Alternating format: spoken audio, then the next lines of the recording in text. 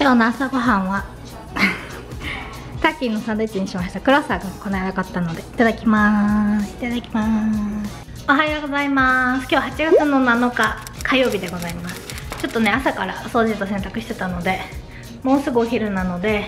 お昼の用意をしていこうと思うんだけど今日は昨日の残りのビーフシチューがあるのでご飯ちょっと冷凍しちゃったからあとパンと一緒にパンとサラダと一緒に食べようと思います。できました。今日はこの間買ってきたガーリックトーストがあったのでご飯じゃなくてねガーリックトースト。あとサラダもしあのー、これなんだっけサンフラワーシードも一緒にあったので食べようと思います。いただきます。もちくんがとことこ歩いてきてなんかラグの上に座って寝始めましたけど。めっちゃ寝てる。めっちゃ寝てる。見えるかな寝てんの。なんでここの部屋がいいのかわかんないけどね。今ねちょっとねこのノートにいろいろ献立っていうのかな？献立ってことでもないけどメニューをちょっといっぱい書いててこの間お父さんとスカイプで話しててお父さんも料理結構好きで土日とかに結構作るんだけどあのご飯作るのはいいんだけどご飯作るまでのその考えるのが毎回毎回めんどくさいよねっていう 話をしててちょっとねあのいろいろ作ったことはあるんだけど今までねいろんなのに結構挑戦して作ってはいるんだけど何を作ってたか忘れちゃって結局なんか10パターンくらいをなんかローテーションしてる感じに最近なってたので今まで作ったことあるものでアメリカのスーパーで買えて、えっと、すぐ作れるもの。まあ中にはちょっとあの遠出してアジア系のスーパー行って調達しなきゃいけないものとかもあるけどまあ基本は作れるものをねいろいろちょっとリストアップして書いておきました。こっちがメインでこっち側がまあ副菜とか付け合わせみたいな感じのものをちょっとあの書いてみたんだけど、うん、まあこれでちょっとこれ今リストをしただけだからあとはあのファイルにちょっとレシピってほどではないけどあの50音順にして、まあ、50音順にするかわかんないけど、まあ、ちょっとこう分かりやすくねリストをこう作ればご飯何にしようって考える時にこうパパパパってめくってなんかあこれいいかもってなるかもしれないので鶏肉はねなんか鶏肉のコーナーみたいにすれば鶏肉使わなきゃいけない日もあるし豚肉使わなきゃいけない日もあるしご飯炊くのめんどくさい時は麺類にするとかまあいろいろあるのでちょっと今ねいろいろ書いてたまだまだ結構ありそうなんだけど今のところ思いついたのしか書いてないので。うん。そんな感じでちょっとこれをファイルかなんかにしようかなと思っております。今日ちょっと冷蔵庫を若干綺麗にしたのでそんなに食べ物も入ってないしあの全然収納とかは特にないんだけどな前なんかリクエストが来てたような気がするので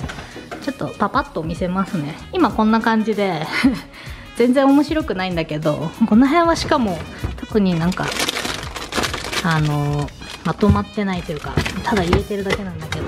こっちデイリー系ね。これはなんだっけ。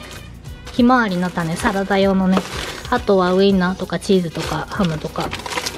あとヨーグルトとかね。が入っておりますでここはねこの間買ってきたサンドイッチまだ残ってるんだけどこれはあのさっき食べたサラダのやつですね。でこれがこの間買った生で食べれそうな卵。でももうちょっと結構遅いからあとはゆで卵にして食べようかなと思ってます。でこれはプロテインバーが入っててこっちはなんかいろいろ缶詰系のこのサルサがすっごい2人とも大好きでこのねマンゴーサルサなんだけどこれもめちゃめちゃ美味しいからあのストックでもう1個あるんだけど あとはこれもサルサですね。あとマリナラソースとか。と昔のバジルペストまだちょっとしかも2つあるっていうね。中途半端になくなってあとこれは何かな？ピクルスですね。もうこれもなくなりそうだけど。で今日はちょっと唐揚げにしようかなと思ってるのでチキンをここに置いてあります胸肉じゃなくてもも肉ね。あとルッコラとであとねこれをねこれお米なんだけどここに置いてたのね。なんだけどでこれがこうこういう風になるんだけどここに置いてたんだけどなんかちょっともったいないからスペースが。あちなみにこれはしば漬けと福神漬けです。だからちょっとここもね置けるんだけど幅が微妙だから。ちょっと今こんな感じだけど。でえっとスプラウトで買ったアーモンドミルクとあとこれ麦茶ね。最近よく作って夏なので。あとクリーマー牛乳とあとめんつゆとごまだれでお米があってここれちょっとコーヒーアイスコーヒーにしてるんだけど。あとこれねあのベーキングソーダベーキングパウダーのなんかこういうのが売っててあのスーパーで売っててペリペリって普通に多分ベーキングソーダとしても使えるんだけどペリペリって剥がすとこういう風になって匂い取りになるってやつなんですけどあとはコリアンバーベキューのソースとか。この辺はねほぼ使ってないかな。ホイシンソースこれ。フォー食べる時のやつね。あとランチソースとか。なんかドレッシング系味ぽンとか。先生が飲みかけの八海山ですね。あとこっちちょっとすっごい汚いけど まあいろいろボトル系が入っております。ウスターソースとかなんかサルサ。サルサじゃないなこれは。こっちになんか辛いソース系が入っててまあアジア人の家庭には絶対ある1本あるね。シラチャソース。アメリカ人のアジア人の家庭には多分1個はあると思う。で、まあ、マヨネーズはいつもキューピー使っててまあ特にこの辺は面白くないかな。ハニーマスタードとか。あとこれグレープの。これ jelly ってやつはこれジャムなんだけどアメリカはね英語 jelly って言うんだよね。それぐらいかな。こっちはあとチューブ系。あとこっちはなんかピーナッツバターとかいりごまとかレモンジェルとか。あとこれトレーダー・ジョーズで買った買ってるあのオレンジチキンのオレンジソースなんだけどいつもすっごいいっぱい入ってるから全部使わないので貯めてあります。あとかき氷のシロップとあとここは薬系がいろいろ入ってる。ビタミンとかあと頭痛薬とか。これはお姉ちゃんが多分置いてった喉の痛み止めとか。あとうんまあそれかな。これもなんかチルドレンだからお姉ちゃんが置いてったやつですね。あこれ古いやつだからもう捨てていいね。はいそんな感じです。でこっち側は飲み物をメインで置いてあってこれこの間買ってきた。お茶ねこれねグリーンティーって書いてあるんだけど甘いグリーンティーなの。これねまあグリーンティーって飲まないで飲んだ方がいいと思う、日本の緑茶って感じじゃなくて普通に紅茶のちょっと渋みが入ってるって感じで飲んだ方がいいと思います。であとペリエこの間買ってきたやつとお水。お水一応ここからねいつも飲むんだけどこれ前買った時の残りがあるので入ってます。これこの間お土産でもらった日本酒のキットカットとこれはねシャルドネ。これはトレジョのシャルドネのこれノンアルコールノンアルコールのやつ。でシャンメリーみたいなやつね。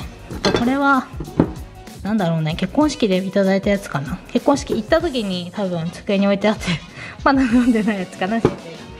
生がです。で最後ちょっと下はね本当にもうね冷凍庫なんだけどすごいひどいからちょっとなんか見せるの若干恥ずかしいんだけど、まあ、これでもまあなんか本当はねケースとかあった方がいいんだろうけどなかなかそういうのも売ってないので100均とかにあればいいんだけどこっちの100均はすごいひどいのであんまり買えてないんだけど。まあ冷凍のものがぱいありますね。ねなんか枝豆とか焼きそばも冷凍してあるんですけどあとこの辺の野菜はいつも使う冷凍のお野菜。2人だけだからあんまりいっぱいあの使わないので普通のお野菜より冷凍のお野菜を使ってます。で下の段はこっち側はなんかパッケージのいろいろあるんだけど、まあ、冷凍食品系。この辺はターキーのパティとかあとこれエッグマフィン先生が朝に食べる用のね。あとフィッシュフライとか。あとチキンストリップハニーバーベキューのチキンストリップとか。あとアサイとか。これねバジル。この間教えてもらって冷凍庫に入れてます。あとこれ安くなってた ワッフルも入ってます。あとチキン冷凍のチキンですね。でこっち側はあのパックのやつを小分けにして。ここは唯一こういうのに入れてるんだけどあんまり 意味ないかなって感じですけど。なんかミートボールとかこの辺ひき肉鶏肉あと白身のお魚もありますね。でこのなんかターキーバーガーを食べるようにこのパンも買ったんだけど冷凍してます。あとはなんかご飯の冷凍とかあコップが冷やしてあったりそんな感じですね。あとここに保冷剤が入ってますね。はいこんな感じでうちの冷蔵庫でございます。ちょっとそんな紹介するほど全然参考にならないというかむしろちょっと汚くないと思うかもしれないんだけど まああの普段のうちらのね冷蔵庫はあんな感じでございます。